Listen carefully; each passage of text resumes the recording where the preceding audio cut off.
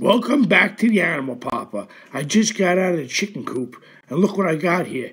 Some crazy looking egg. If anybody knows what this thing is called, please leave it in the comments section, because I have no clue what to call this. Just take a good look at it. This is going to be a short one, but take a good look and let me know what you think, because I have no idea what to call this thing. It's an egg, but I don't know what type of egg.